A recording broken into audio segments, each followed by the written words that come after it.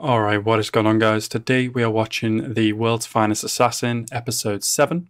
Uh, I don't have, any, have anything to say for the start of this episode. I apologize for the episode being out a little bit later than, uh, well, obviously after the airing time. You know me, I like to bring out the episodes as soon as I can, um, but it is a little bit later today, so I apologize about that.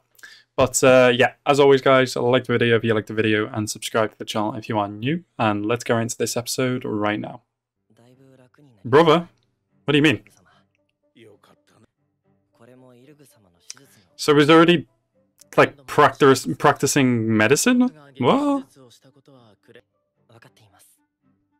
Practicing medicine, probably not legally.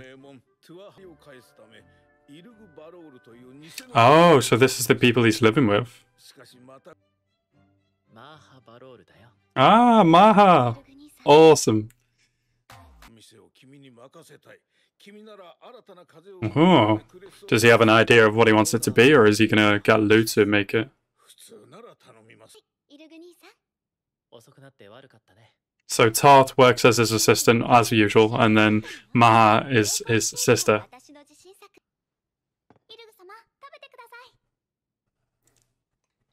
Is there any kind of jealousy going on between these two? Because they're like, hmm, you like my dish, sure, but you like mine as well. Oh, very smart. Okay. I noticed that there are three pillows on that bed. okay, so about those three pillows. Man is living the dream. I respect it. I'm glad he knows this. He is such a he's such a gigabrain, bro. I've acquired good pawns. I love this guy. I actually kind of want to see something go wrong for him, to be honest. He's just, he always, always constantly thinking ahead. Oh shit, he's creating something.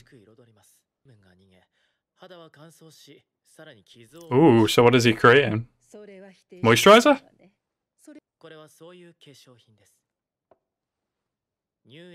Moisturizer! hey, that's gonna sell like fucking hotcakes. Damn, what was the world like before someone created moisturizer? That's crazy. It must have been dry and dusty as hell. Yeah, exactly. That's smart. You don't need to create what already exists. Create something that goes with the already existing stuff. Exactly, bro. Moisturizer is moisturizer. This horse child. Jeez. Hmm. 200 balls. You can make 200 bottles and just make them the most expensive things on earth. Nobody else can make it. Ooh. Ah, so it can't be produced by anyone else.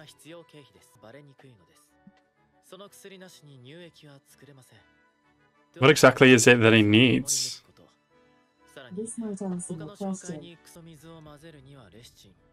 Lechin. Oh. Yeah, bro, you're gonna make a fucking conglomerate for this shit, I swear. Everything's going according to plan, as per usual.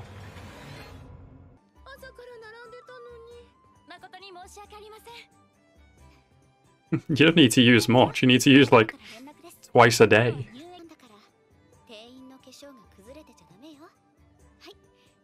Oh, I just realized that's awesome that she's working here too. Oh.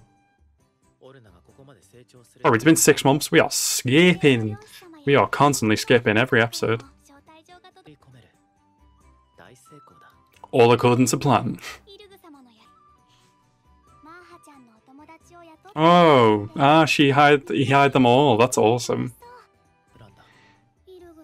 Everybody's a pawn, but he also likes to help these people out. Oh shit, someone's going after Lugh. Not gonna happen.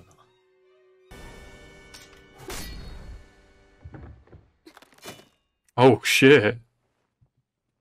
Did she kill it? Oh, nice.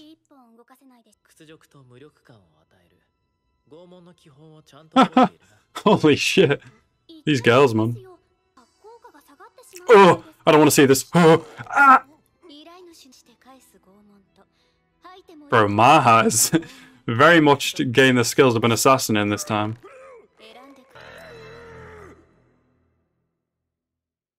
Thirty years earlier. Oh, we get another. Yeah, here we go. what the fuck is the goddess doing?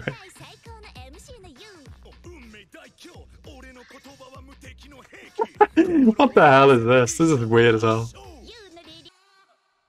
Okay, let's see what this guy turned into.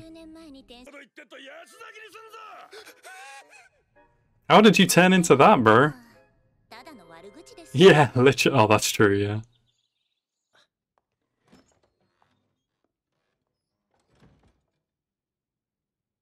Okay, time to see how these two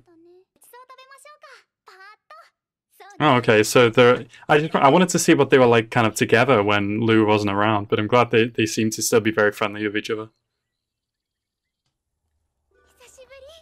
Is this Dia? Oh my god! It's been a while. What is it?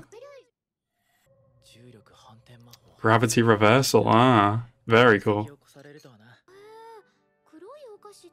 Oh, she never tried chocolate? Oh, it's nice that he still gets to see Dia. Everything is just going so right in this anime, obviously all according to his plan. But, like, god, something needs to go wrong at some point, I think. I mean, it doesn't, but, you know, you'd expect it to. Oh, did he have a slightly different shade of, uh, dark hair color when he went to see Dia. I didn't even notice. What's what's wrong with him? Uh, yeah, that's what you do in bed.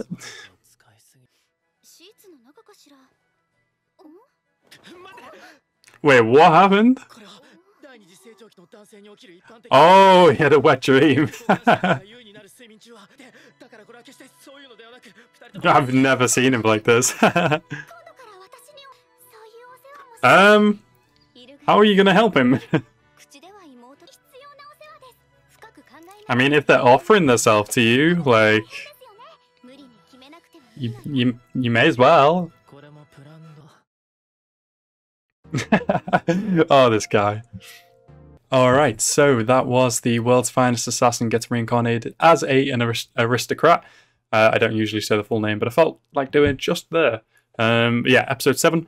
Uh, really good episode. It was nice to see everything kind of coming together. Obviously, we are continuing kind of going forward at like an alarming pace, not like a ridiculous pace where it doesn't doesn't really make sense and it flows too quickly. But it's at a good pace, uh, not dragging on certain things. And um, yeah, it's I just like where it's going. It's showing kind of all the elements of making him a proper assassin that doesn't just involve killing. Uh, but yeah, it's really cool to see kind of as him as he grows up and grows his business, grows his assassin techniques, also along with Tarte and um, Maha, and as well as uh, we got to see Dia this episode, which was really cool. Um, but yeah, I love the end part where he's like, he's always like, oh, he's so serious and so calm and always thinking 10 steps ahead. But like the Empire, which is like something he didn't consider would happen, um, obviously being in a teenager's body. Um, but yeah, overall, really good episode, and I'm definitely looking forward to the next. Anyway, guys, I hope you guys enjoyed this episode. I certainly did, and I hope you guys enjoyed my reaction. Thank you guys so much for watching. Have a nice rest day, and peace out.